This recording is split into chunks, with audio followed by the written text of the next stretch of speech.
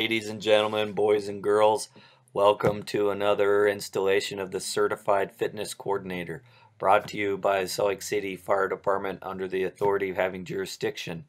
Today's lesson, as you can see, is injury prevention, and your host is none other than the most sought after PowerPoint presenter of all time, the highly regarded Richard Platt, Station 3 A Platoon. Uh, we're coming to you live. Just kidding, this is previously recorded, but I'm going to do no remakes at all on all the slides. If I make a mistake, you get the mistake. Um, we're just going to be real and in your face this time on injury prevention. This is my second time doing it, so hopefully I'm very well rehearsed by now. Um, I think we have about 30 slides, so we're all going to do this together. Thank you. I'd like to introduce the topic of injury prevention with my opinion on the topic, and that is if you want to prevent injury, I would suggest that you be harder to injure.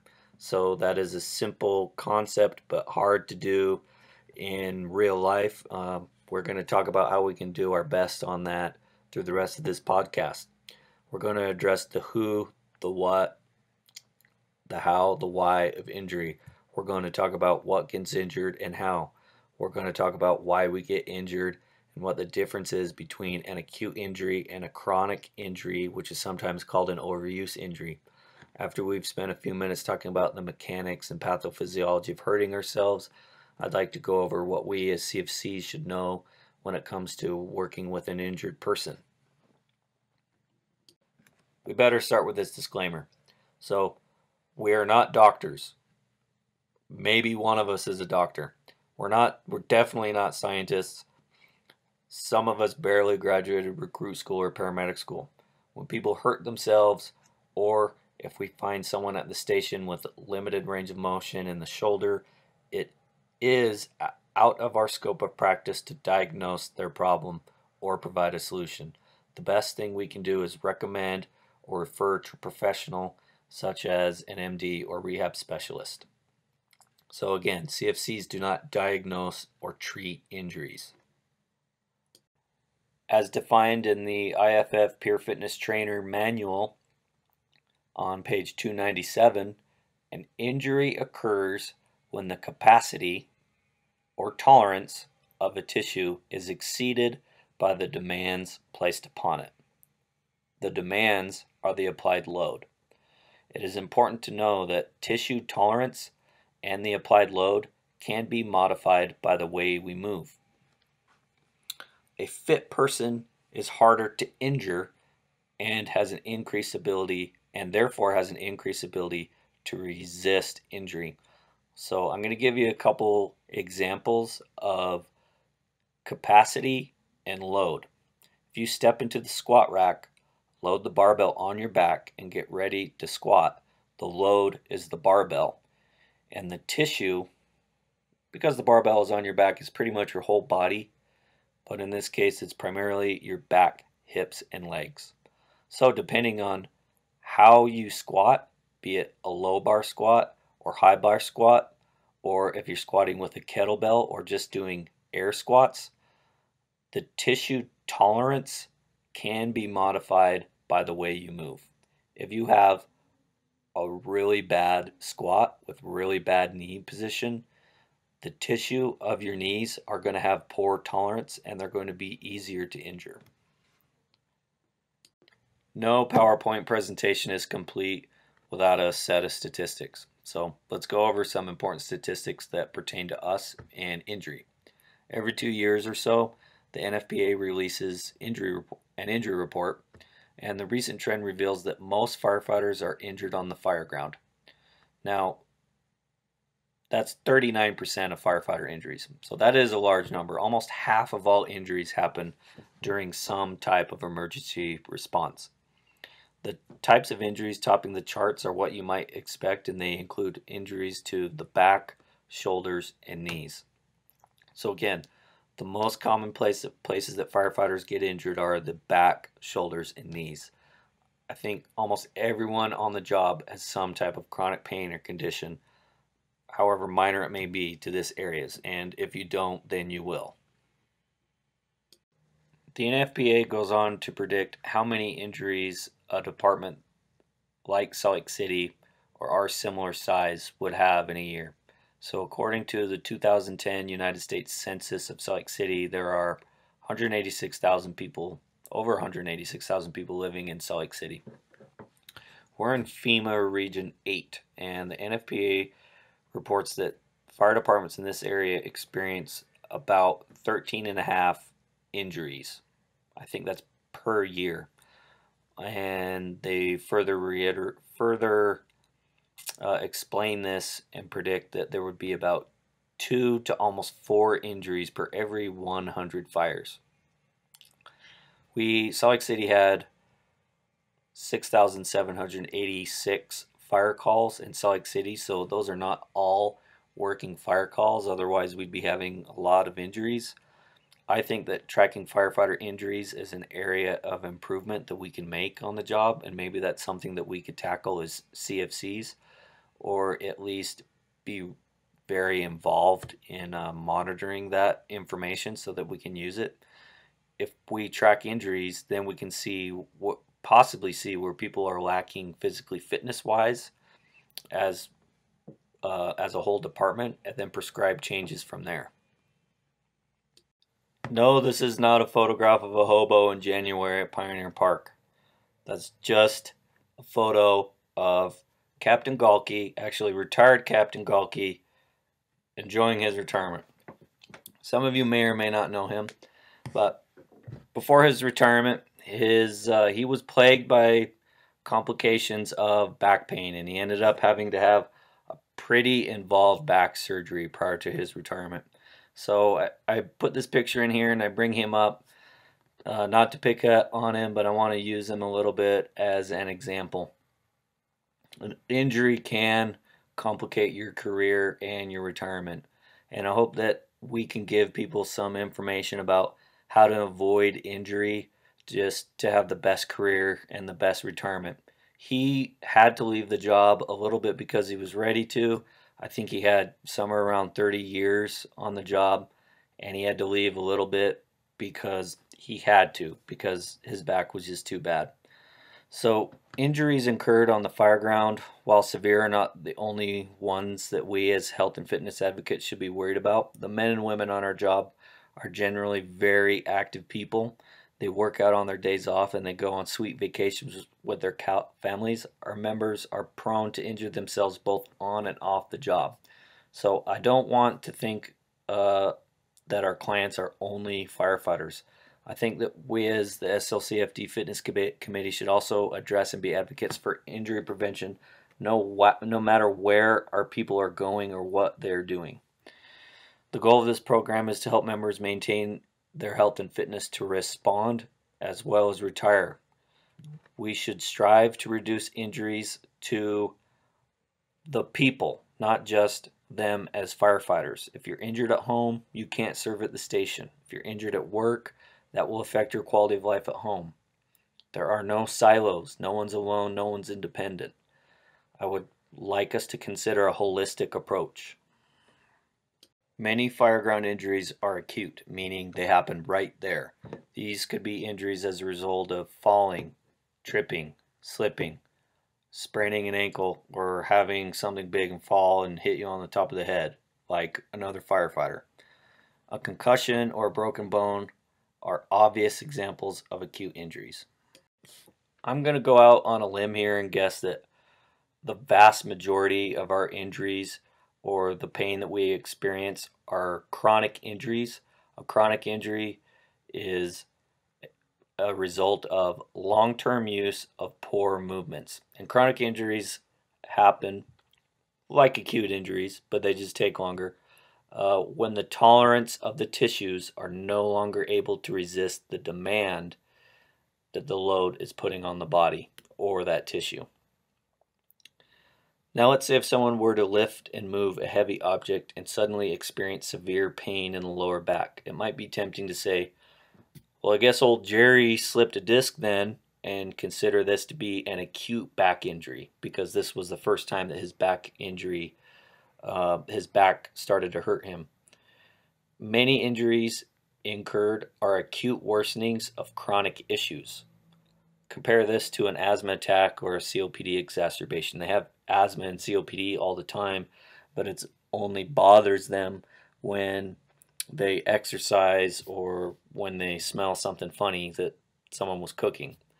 Jerry, in this case, has been lifting and moving so bad for so long that today, on the fire, was finally the day that it got the best of him. It was the straw that broke the camel's back, or, in this case, Jerry's back. Jerry, unfortunately, was not hard to injure. Jerry was sedentary, he moved poorly, and he was a human that was very easy to injure. The initial phase of injury is the inflammatory phase or the acute phase. Injury is characterized by inflammation, and inflammation may be the underlying cause of pain. This is normal uh, and is expected to be part of your training, actually hurting and having some inflammation. It's part of recovery in the normal healing process. Acute inflammation could last days to weeks, depending on location and the severity of the injury. Obviously, long term chronic inflammation, there's going to be a problem there. Although these phases of inflammation may last weeks at a time, continued repair and remodeling of muscle and other tissues will continue for months. The primary objective of the remodeling phase is to return to a level of training that is required by the demands of our job. During all phases of injury and recovery, it is important that we as the CFCs collaborate with medical and rehab personnel to ensure that physical training does not compromise our client's recovery.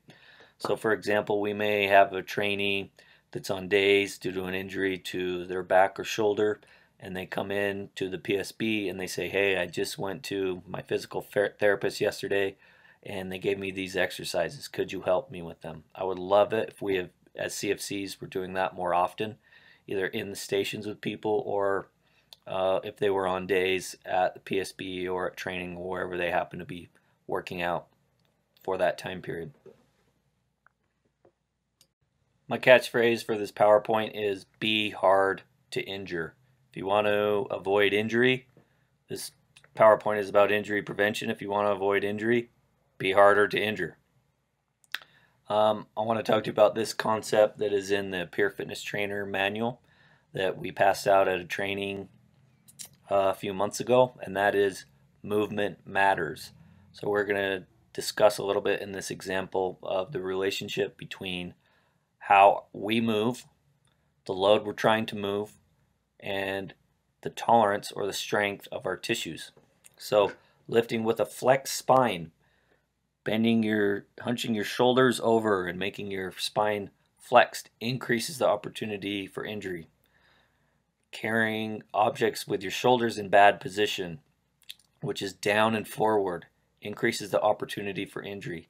One of the most frequent examples I see of bad shoulder position is lifting a stretcher. Now, I know a lot of us are very good in our abilities in able to avoid lifting the stretcher, but take a moment and notice whoever's at the foot of the stretcher lifting it into the ambulance. Notice their shoulder position.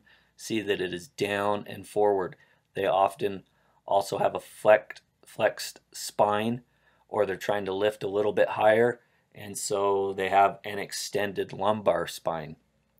Now, on top of that, their body is under load because they're holding the patient and trying to move the stretcher into the ambulance. This is a very bad position. Um, we're going to go over just a quick little example here about something that I think all of us have been involved in. Imagine that a paramedic stands behind an obese patient, applies his grip under the armpits and upon the wrists in the fashion of a Rogers carry. This patient is very heavy, but the paramedic is strong enough, which I'm using in quotations, the paramedic is strong enough to apply force and move the patient. To do so, the paramedic is driving their hips up like you would if you were lifting a heavy sandbag off the ground. And the patient moves verti- vertically. Their butt raises just a little bit off the ground vertically.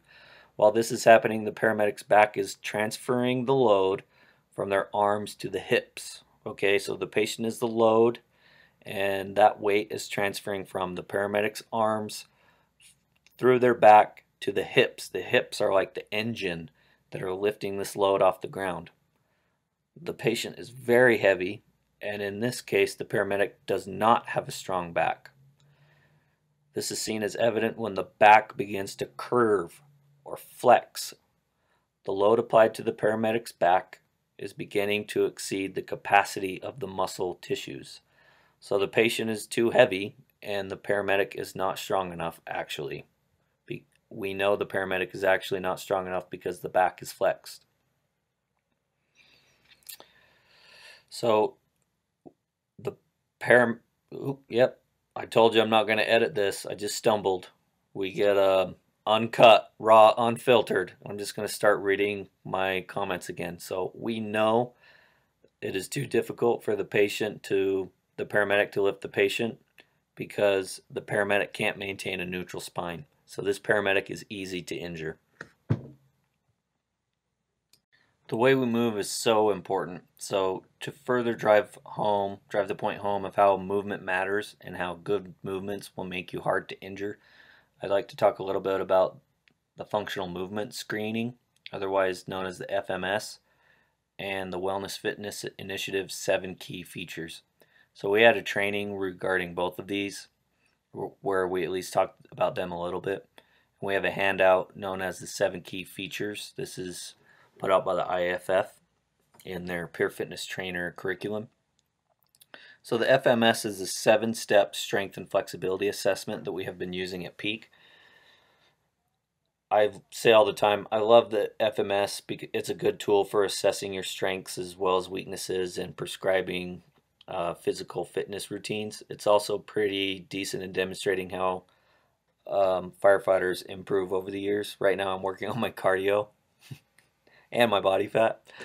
Um, the FMS has some pretty good research under its belt now, and it has been shown that it can predict injury in athletes that have low FMS scores.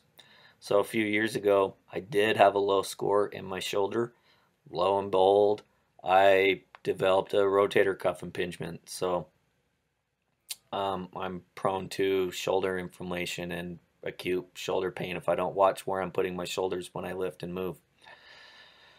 So it is possible to be fit and move poorly because there are some college athletes. I mean, they're obviously fit, but when they get low FMS scores, it's easy they get hurt because they're moving bad on the field. Just because you're fast doesn't mean you move well, and just because you're strong doesn't mean you move well either. So, the second point here, the seven key features that can be used as a coaching template. It's from the IFF developed in their wellness fitness initiative. We also talk about this in the assessment program, the assessment class that we're putting on in this program. And it can serve as a model for how to move. Basically, you can perform almost any task with as much safety as possible if while you move you adhere to these seven key features. And we've touched on them before and I'll just quickly go over them now. When you move, your knees should maintain a straight path in line over the foot, meaning your knees are not tracking laterally. This is called frontal plane movement, back and forth when you're squatting or lunging. The back, when you're lifting, pulling, pushing, in all cases, the back should not be twisting. The back should not be hunching forward, creating a flex spine and you the back should not be should not be extended uh, like a pregnant lady. I don't have any pictures here. Maybe I should add some pictures to show examples of this, but I know we had a handout in WIT that all the current CFCs have, and we've talked about this before. I'm just reviewing it now. And the shoulders, when lifting, pulling, pushing, climbing, anytime the shoulders are under load, the best position for the shoulders is down and back. Again, look at how people lift the stretcher under load. Those shoulders are always down and forward. We need to redesign the stretchers for those poor, gold crossers. All those young people are going to bust their shoulders. As referenced in the previous slide, here we have the seven key features which were developed by the IAFF Wellness Fitness Initiative for the Peer Fitness Trainer certification. This can be used as a template for coaching movement patterns of a trainee, and I also take these into consideration for my own training as well. We should strive to always maintain these positions while moving. Notice that the underlying theme of these positions is neutrality. Look at the knee. The knee is in a neutral position over the foot. The spine is neutral. It is not flexed nor extended, nor extended. And also, the shoulders down and back are in a tight neutral position. I would recommend to everyone that you become familiar with this chart and apply it to your own training and coaching practices. Being strong will assist in improving your tissue tolerance and help one better accommodate optimal movement patterns while under load. It is not the only way to avoid injury, but I think that it is nonetheless fundamental for avoiding injury and just generally doing our jobs. I appreciate this quote from Mark Rippetoe, who was a pioneer in the strength training community movement training programs I've heard harder to kill in general. To the above an injury, past injury, I have an ongoing shoulder problem. Because of this, I am I'm predisposed to injury. Doctor diagnosed me with a rotator cuff impingement, and yeah, now I am prone shoulder, which I just refer to now as flare-ups of pain. Maintaining your shoulder in a position is position B. I'm dragging the sandbag. Shoulder is. I neglected to mention this in the first slide, but um, in the NFPA report regarding injury that came out in 2016, the number one cause of injury is overexertion. So, what does overexertion really mean? That is when someone becomes fatigued, the muscle loses its ability to contract, and from there, a breakdown in form is observed. So, if you were working um, an axe, a pike pole, carrying a ladder, and you were tired, there goes a breakdown in form of your shoulders or your back starts to flex because it's tired and you're trying to redistribute weight just in an area that's more comfortable for you. Well, as your form breaks down, you have poor movement, you're opening yourself up for injury. Poor, when you get tired, you become more easy to injure. It's easier to injure you when you're tired. And who's injuring you? The environment and bad guys. A ligament sprain is a certain type of injury and it's usually a very acute injury associated with a traumatic event like a fall or something that happened during a contact sport. Firefighting is a contact sport. So the most common joints for sprains include the ankle. I think almost every human being on the planet has sprained an ankle. I think I sprained my ankle 40 times when I was a kid. Um, also, don't forget the thumb, fingers, and shoulder. It's very debilitating to have a sprained finger. It's really limiting not to be able to have that strong grip on something. So, yeah, limit, ligament sprains are often associated with traumatic injuries or some type of blunt trauma. And so, most of the time, these are acute in nature. Point at which you experience a muscle strain may be acute as well. Um, a muscle strain is a situation where the muscle has become overloaded and suffers a microscopic tear. So back to the idea that we started with at the beginning of this PowerPoint of tissue tolerance. A muscle strain is an, the breakdown of our of the tissue tolerance. The tissue can't tolerate any more weight and it begins to tear.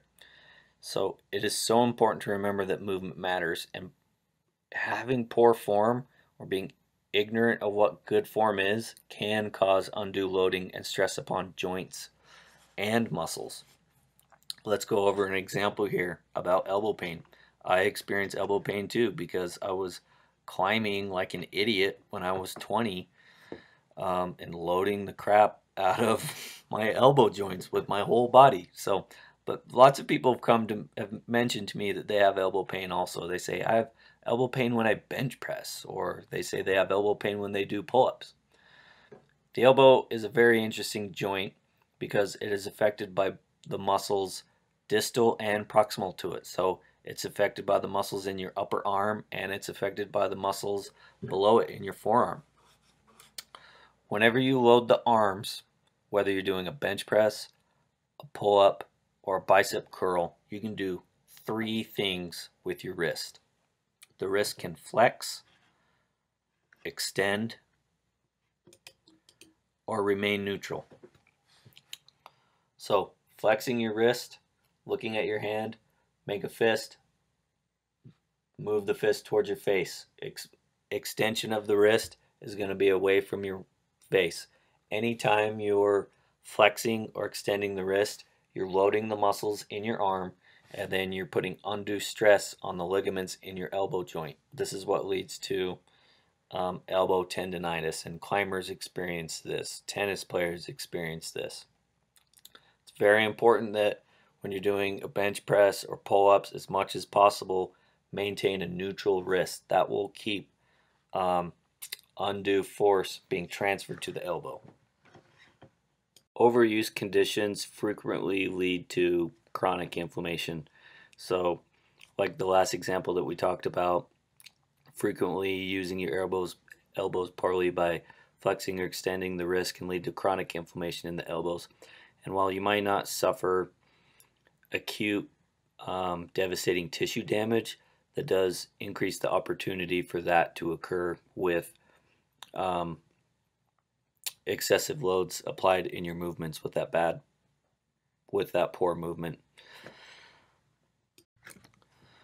One piece of information we can pass on to the CFCs and people in the fire department to help them avoid injury and to help them be harder to injure themselves is when they start a new program, start low and progress slow. So start low in the weight and progress very slowly. Too many times I have to remind people their ego is not their amigo. Let's just add five pounds a week or maybe even two and a half pounds per week to our lifts. Rotator cuff impingement or shoulder impingement syndrome, subacromial impingement, swimmer's shoulder, and thrower's shoulder is a clinical syndrome which occurs when the tendons of the rotator cuff muscles become irritated and inflamed as they pass through the subacromial space, the passage beneath the acromion. And take note of this picture on the left there. That is a very small space. So when you have inflammation there there's not a lot of room for the tendons and they become to be pinched or impinged. So this can result in pain weakness and loss of movement at the shoulder. I keep coming back to this as an example because of my specific experience with it a few years ago the day after the TPT I was experiencing pretty severe pain in my neck shoulder and back I went to the doctor and he diagnosed me with rotator cuff impingement. After several weeks of physical therapy, I started to feel better, and I feel great today. However, unless I maintain strict form while pressing, deadlifting, anything requiring the use of my shoulder, I am still prone to pain. Overall, this took a long time to heal. So I think we should also take this opportunity to address the movement pattern of pressing, such as push-ups or bench pressing a common mistake in performing push-ups is when at the bottom of the movement or when the chest is near the floor, the shoulders have been put in the position of up and forward. This reduces the tolerance of your shoulder tissue. Second is the bench press. A common mistake when performing the flat bench press is when at the bottom of the movement or when the bar is closest to the chest, the shoulders again have been placed in a position of up and forward.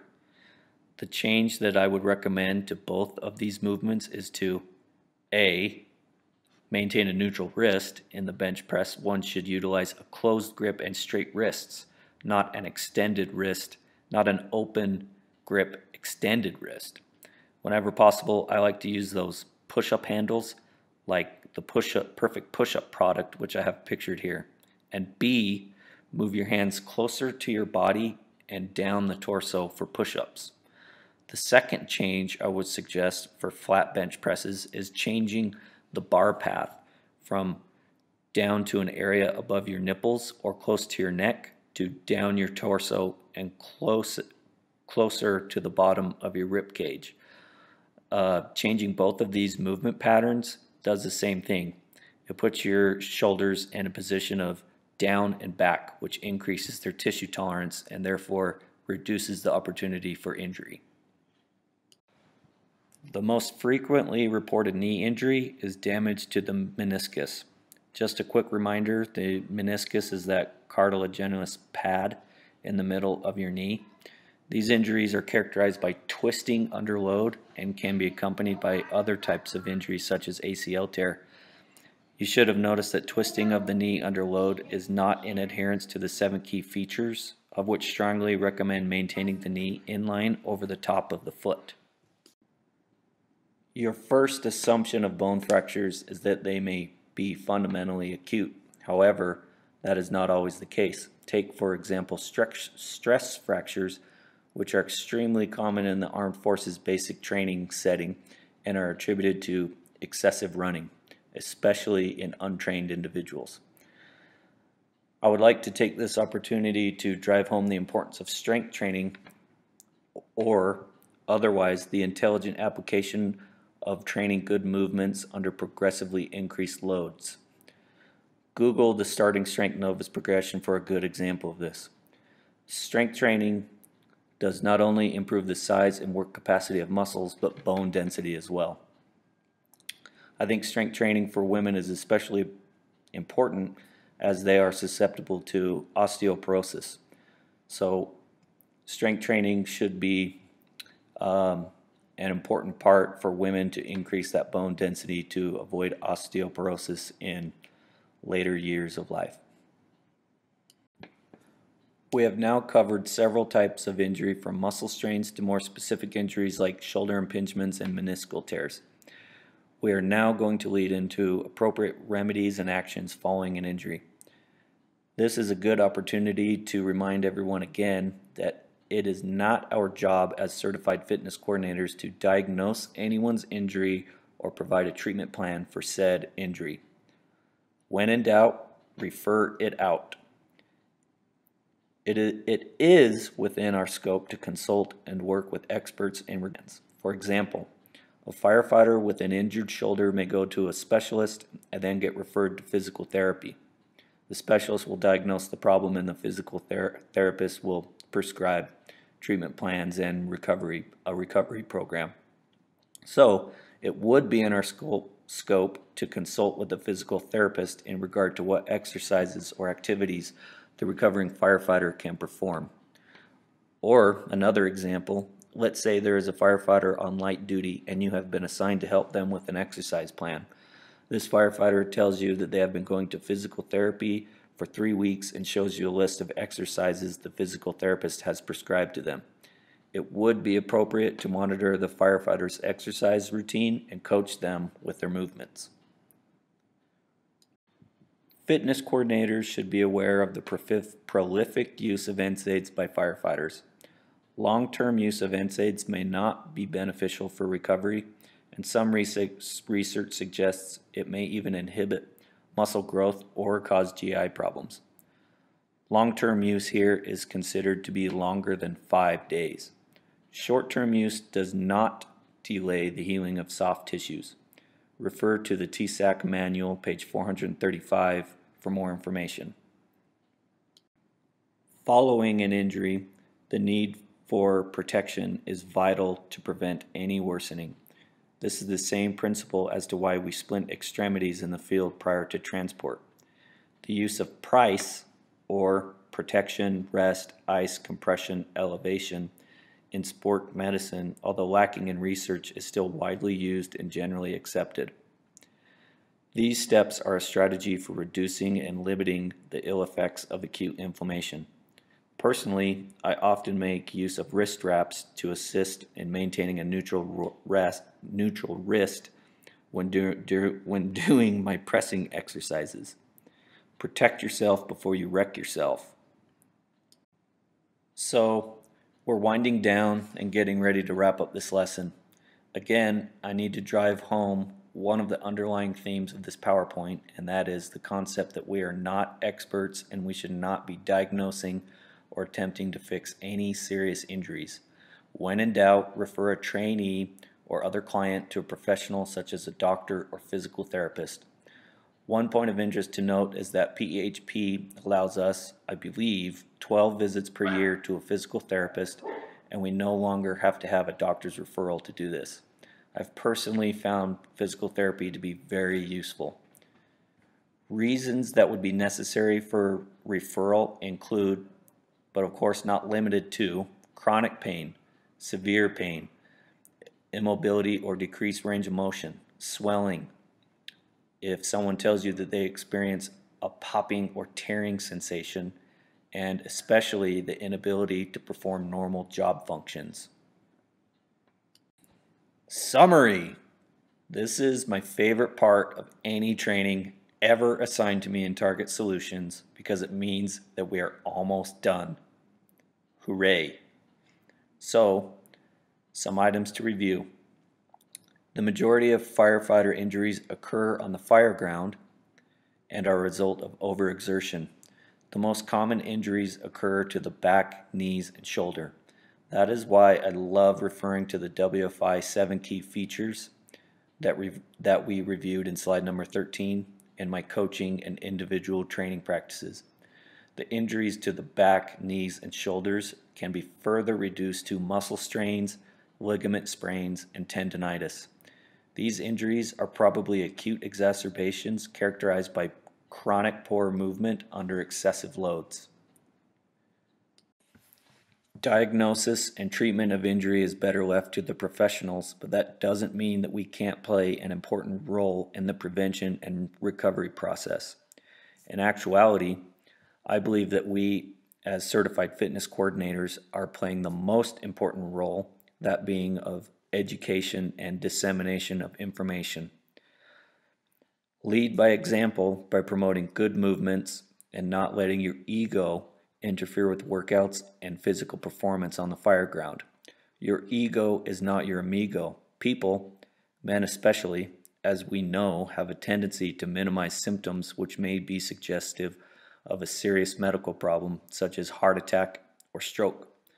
I think that we all have been on calls in which valuable time was lost because the patient was too proud to acknowledge that something serious was taking place, which then resulted in death or permanent disability. Heart attacks and strokes are the best example here.